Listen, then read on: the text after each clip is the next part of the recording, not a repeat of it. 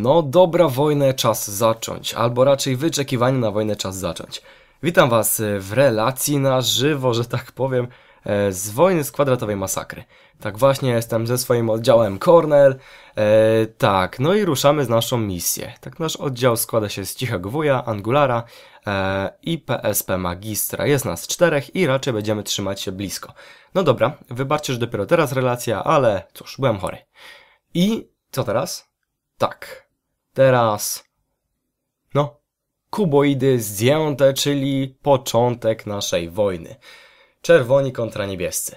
Jak widzicie, wybudowaliśmy tutaj specjalny tunel, e, który był częścią misji. Ten tunel miał biegnąć gdzie indziej, jednak postanowiliśmy, że tutaj będzie bliżej i, no cóż, szybciej. Dobra, e, ten tunel znajduje się pod areną, gdzie możemy sobie swobodnie przejść do bazy e, czerwonych. Tak obawialiśmy się, że będą tutaj, więc obudowaliśmy nasz tunel z każdej strony. Niestety tutaj ich nie było. E, no i cóż, przeszliśmy sobie dość swobodnie. Tutaj coś źle wyliczyłem wysokość, tak? Niestety, więc e, musiałem zepsuć jeden klocek. A, ma pan magister resztę dobudował. Więc wszystko śmigło bardzo fajnie. Tunel sprawdził się jak najlepiej. No i cóż, tak właśnie oto przedostaliśmy się do bazy czerwonych. Właśnie na tym polegała praktycznie misja Cornell, aby przedostać się do bazy czerwonych nie przez wejście, a przez yy, podziemia. No i cóż, weszliśmy, weszliśmy do ich królestwa. Czy królestwa, czy ja wiem, czy nie wiem.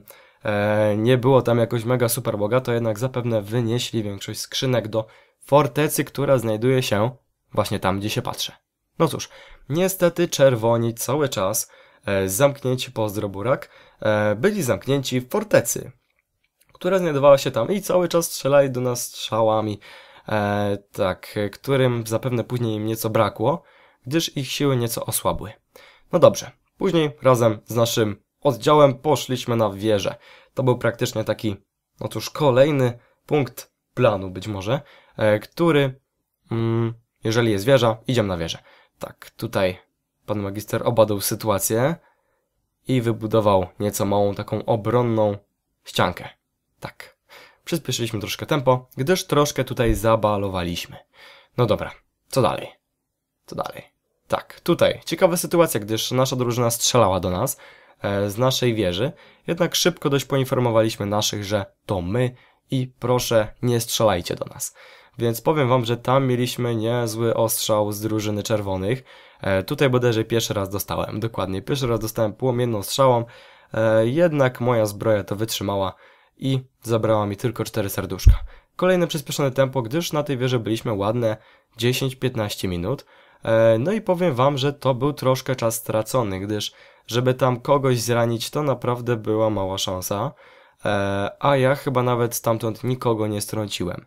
Więc e, niektórzy z nas myśleli, aby dostać się właśnie tam perłami, jak Angular przez chwilę trzymał perłę. Jednak nie, to było zbyt ryzykowne. Siły wroga były jeszcze wielkie. No dobra, później postanowiliśmy wejść na mury, e, z których była także dość, e, z których był dość także fajny widoczek, więc czemu by nie, być może kogoś stamtąd strącimy.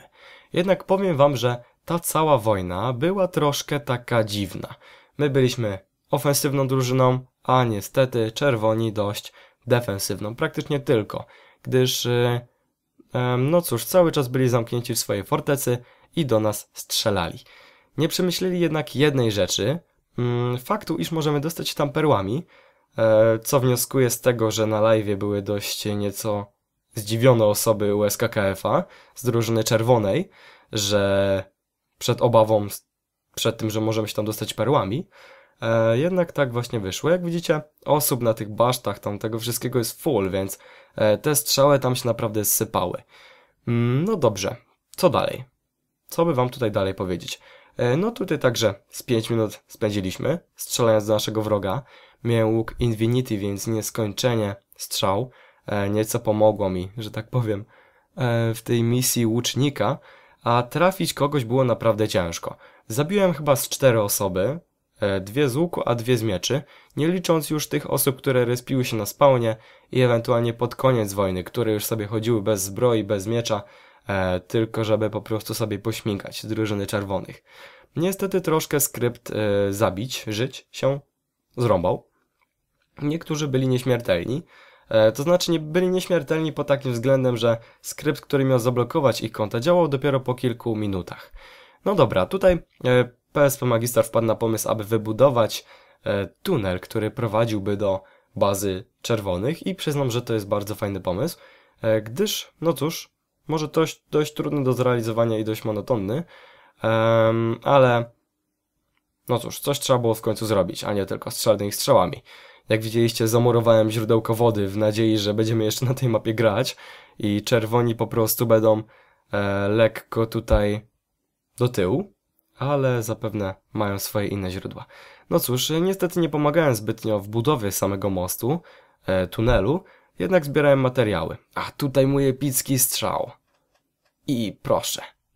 Pięknie. Nie wiem kto dostał, jednak ktoś dostał. E, zbierałem materiały, gdyż kilka osób naraz w tamtym miejscu było troszkę tłoczno i moglibyśmy dostać strzałami. No cóż, powiem wam, że dość często trafiałem osoby, jednak e, to było naprawdę trudne. E, jeszcze z dołu trafić kogoś. To naprawdę wow. Aż się dziwię, że kogoś tam trafiłem z dołu. No dobra, tunel cały czas się powiększał, jednak e, miał on jeden cel. Aby, no praktycznie miał kilka celów. Mm, pierwszy z nich to było coś takiego, żeby po prostu dostać się tam tunelem pod bazą wroga, a drugi, żeby łatwiej było rzucić naszą perłą. Więc zobaczycie, jak to później się potoczy. No tak, tutaj razem z Angularem próbowaliśmy do nich strzelać, e, jednak jak sami widzicie, to było naprawdę trudne. E, tak, e, więc raz nam się udało, a raz niestety nie.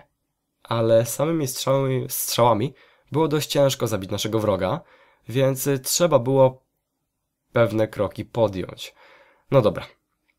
Co teraz się wydarzy? Chyba wyluknę obejrzeć, a nie, pójdę jeszcze troszkę pozbierać materiałów, gdyż e, przy tunelu troszkę ich brakło, a najlepsze materiały to drewno, gdyż możemy je rozwalić na cztery klocki. Tak, dokładnie. Właśnie tak. No dobra, co dalej? Nasz tunel cały czas się powiększał. Tak, e, gdzie ja teraz szedłem? Wybaczcie, bo ja tak mówię teraz, to oglądam film i komentuję. Um, aha, no cóż, znowu troszkę postrzelać. E, jak widzicie, cóż, strzelanie, strzelanie i jeszcze raz strzelanie. Wojna była naprawdę bardzo fajna i udana. Jeszcze raz z chęcią bym tą wojnę, że tak powiem, przeżył.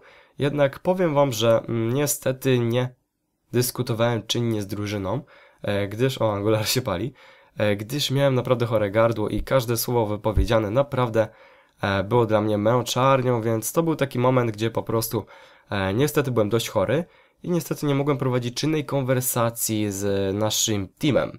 Ale, no cóż, w całej wojnie odezwałem się może tylko 20-15 razy, e, więc niestety to był taki dla mnie troszkę minus, że akurat musiałem zachorować. Tam prawie kogoś zabiłem. Nie wiem, czy to był Rezi, czy kto, ale dostał dwa razy z łuku, może nie idealnie pod rząd, ale mój łuk jest dość mocny. Moc 4 bodajże i Infinity mm, oczywiście na 1, gdyż innego nie ma ale zobaczcie, że cały czas ktoś tam dostawał. Kurde, no to było troszkę pesze, gdyż y, widać, że osoba ta y, troszkę się tak nam wychylała i można było łatwo ją zdjąć. A czerwoni nie przemyśleli takiej rzeczy, że spawn znajduje się w miejscu, którym właśnie stoję, czyli troszkę klocków za mną. Jeżeli osoba zginęła, respiła się w tym miejscu, gdzie praktycznie jesteśmy wszyscy niebiescy. Tak, i jeżeli ktoś ginął, respił się tutaj i od razu ginął znowu, gdyż e, został przez nasze miecze po prostu zgładzony. Dokładnie, chyba cztery razy nawet ktoś tam dostał, a cały czas żyje. Nie wiem, czy tam jest jedna osoba, czy kilka, ale mniejsza z tym. No dobra, eee, więc tak to właśnie wyglądało. Dostałem chyba na całej wojnie z łuku praktycznie tylko z 3-4 razy, więc e, dość ładnie robiłem uniki. a tutaj, jak widzicie, cały czas budowa tunelu postępuje. Cały czas budował tunel praktycznie magister, e, gdyż reszta sobie gdzieś tam chodziła i, i robiła coś innego. Niestety kilka osób tutaj, jak już wcześniej powiedziałem, mogłaby po prostu tylko przeszkadzać. E, tak, tutaj postanowiłem wykopać troszkę, jednak e, nie, tam strzelanie to był zły pomysł. nie, nie zginąłem, ale e, praktycznie nic nie widziałem. No i cóż, tak wojna się toczyła. Tutaj dojrzałem PL Minecraft.pl, który jest w drużynie czerwonych. Przypomnę, że jestem w drużynie czerwo y, niebieskich, więc y, ktoś tutaj się cały czas kręcił z przeciwnej drużyny właśnie. E, no i PL, Minecraft.pl niestety zginął śmiercią taką, że kilka razy został przez nas pod rząd wykończony na spawnie. Właśnie tak. Więc tak to wszystko mniej więcej wyglądało. No i cóż, taka sytuacja jak widzicie zdarzy, zdarzała się dość często, a to respił się ktoś z innej drużyny, no i niestety dość szybko kończył swój żywot w taki oto właśnie sposób. No. Hm, właśnie tak. No dobra.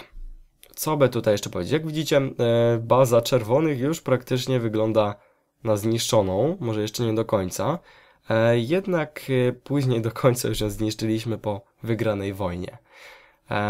Tak, zginąłem łącznie dwa razy, więc jedno życie mi na szczęście zostało i dalej kontynuowałem swoją walkę, że tak powiem, do samego końca. No tak, tutaj dość głośno było na tym spiku, cały czas ktoś mówił, cały czas ktoś krzyczał, um, dokładnie tak. Więc to było troszkę, że tak powiem, chaos. Tak, na tym spiku był mało chaos. No jak widzicie, teraz kręciłem się bez celu, gdyż e, był taki czas, że nie wiedzieliśmy co robić. Czy naszymi perłami już rzucać, czy jeszcze nie. Więc y, troszkę się z tymi perłami wstrzymywaliśmy i później przystąpiliśmy do... Huh. Jak to nazwać? No nie wiem. Przenoszenia się do bazy wroga. No dobra. Kolejny klip, czyli... Hmm, co to było? No to była dość dziwna sytuacja, którą za chwilkę wam pokażę. Eee, widzicie, mamy tutaj Deltiego, który się wylogował, gdyż zobaczył chyba mnie z mieczem. Eee, no i takie osoby właśnie często mogły się wylogować tylko e, jeżeli nie były w bitwie. Jeżeli kogoś uderzyłem, nie mogłem się wylogować, gdyż wtedy mogłem zostać zbanowany. Tutaj troszkę kombinowałem, jak mogłem rzucić tą perłę do bazy e, czerwonych, bo troszkę coś w końcu trzeba było robić. Cała wojna trwała godzinę, a to było już mniej więcej po pół godzinie. E, siły wroga troszkę osłabły, kilka osób już zginęło, a tutaj dostałem kolejny raz z łuku. Tak, tutaj próbowałem już coś rzucić tą perłą, jednak jak widzicie, ofensywa czerwonych, łucznicy czerwonych są naprawdę mocni. trafiali mnie bez problemu, nawet y, w malutkich okienkach. No cóż, tutaj próbowałem rzucić perłę i ją rzuciłem, jednak y, zakończyła się ona porażką. Dlaczego? Otóż, proszę bardzo, rzucamy perłę w slow motion, no i tak, niestety nie wyliczyłem dobrze tego rzutu, zrespiłem się na ścianie, e, spróbowałem zabić puff, zabić puff mage'a, jednak po prostu go nie trafiałem, no cóż, nie wiem jak to się stało, jednak zginąłem. Tak, respiłem się na bazę niebieskich, Wziąłem troszkę mieczy, gdyż e, moja drużyna prosiła mnie o zabranie kilku mieczy. No i cóż, poszedłem do nich z powrotem walczyć. Niestety później musiałem ponownie je odłożyć, gdyż, e, jak usłyszałem na tym spiku, mm, osoby te już jakiś miecz dostały. Więc no cóż, ruszyłem dalej w wojnę e, i znowu się bić, że tak powiem. Tutaj już nieco e, moja drużyna opanowała zamek, E, właśnie rzucając perły. I tutaj dość przykra sytuacja. E, widziałem, że tam na wejściu byli moi, e, tak, i postanowiłem ruszyć do nich. Mm, niestety Patryk, Wasserfall tak znany, tak zwany, zastrzelił mnie z mojej drużyny, tak. No cóż, niestety przykra sytuacja. Straciłem jedno życie przez Friendly Fire, że tak powiem. Zabił mnie gracz z mojej drużyny. No ale cóż, niestety troszkę się bulwersowałem na tym spiku. E, że Patryk nie zapoznał się niestety troszkę z, ze spisem drużyn e, niebieskich, no ale w sumie nie ma mu tego za złe, więc no tu zdarza się, być może to była panika, szybki, szybko trzeba było podjąć decyzję, e, no i po prostu mnie zastrzelił. Okej, okay. no dobra, ruszyłem ponownie na walkę i tutaj było już naprawdę masakra, reszta osoby praktycznie nie żyła, E, wszyscy praktycznie z czerwonych już nie żyła. Zostało jeszcze tylko kilka osób. No i trzeba było ich wykończyć praktycznie na spawnie, więc y, tak to cała wojna się e, praktycznie e, potoczyła. Wystarczyły dwie, trzy osoby, aby, o jak widzicie, Rezi stara się jeszcze dobiec do fortecy. Dwie, trzy osoby, aby po prostu mm, o, tutaj ciekawa sytuacja z Multim. Chciał mnie zrzucić łapką, jednak mu się nie udało. Niestety zginął. E, na czym ja to skończyłem? E, tak, wystarczyły dwie, trzy osoby, aby praktycznie przyjąć fortecę, a reszta wystarczyła, że sobie biegała z łukiem.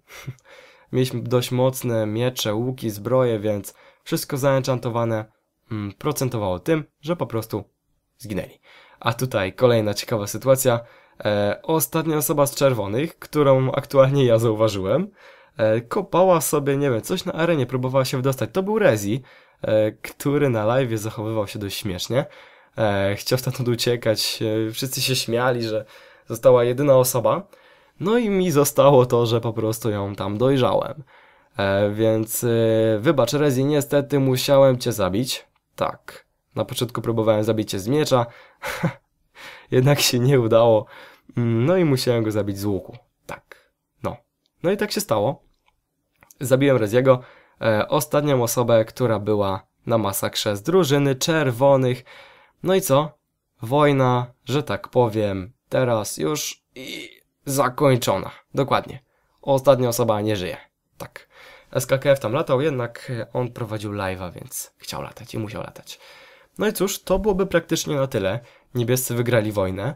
Mm, No i cóż, e, w sumie szczerze mówiąc spodziewałem się tego. Mieliśmy dość lepszy asortyment, jednak e, gra defensywna czerwonych sprawiała naprawdę dobre wrażenie i wydawało się chwilami, że e, wygrają tę wojnę. Tak, gdyż e, strzelanie z łuku i obrona w jednym miejscu, e, przejęcie tej fortecy było dość trudnym zadaniem. Jednak e, tak, to byłoby na tyle. Pozdrawiam wszystkich, którzy uczestniczyli w wojnie, wszyscy, którzy uczestniczyli w masakrze i wszystkich, którzy oglądali wszelkie live'y, masakrę, który, którzy śledzili te wszystkie nasze, mm, że tak powiem, przygody. Przygody nie to jest złe słowo. Którzy nam także kibicowali. No. No i cóż, tutaj postanowiłem troszkę trollować. E, nie wiem dlaczego jednak postanowiłem wszystko psuć, kraść i zabierać drużynie czerwonej. Troszkę for fun, troszkę aby po prostu... O, tam jeszcze mieli na dole skrzynkę, mm, w której były dodatkowe życia. Właśnie. A jak wyglądała nasza skrzynka? No właśnie tak. E, teraz niech czerwoni sobie jej szukają. No dobra, e, co by tutaj mówić? W sumie powiem wam, że żegnałbym się z wami.